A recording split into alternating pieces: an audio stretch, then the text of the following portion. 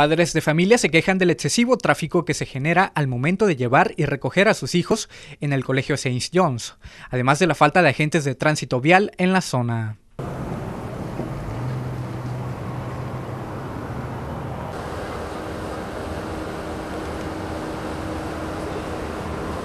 Creo que la escuela, el colegio debería de, de, pues, de solucionar este problema y hablar a tránsito para que pues, nos ayuden, porque sí, muchos papás sí se estacionan bien, pero otros sí se quedan en, se quieren meter, entonces sí está mal eso.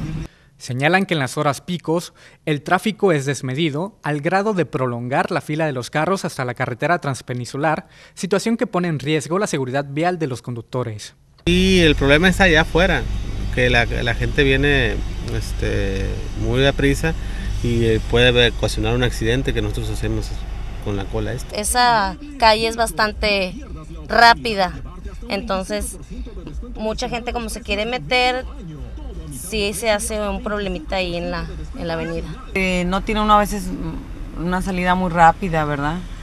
A lo mejor sí sería importante que un agente de tránsito estuviera a la salida. Ya viene siendo parte de la carretera, ¿verdad? De, la carretera que va al aeropuerto. Al momento de que las cámaras de Meganoticias se encontraban en el lugar, personal del plantel intentó intimidar a reporteros ordenándoles que no grabaran la situación. La zona de conflicto se sitúa sobre la carretera transpeninsular y la calle Las Américas, frente a la Central de Especialidades Médicas Fidepaz.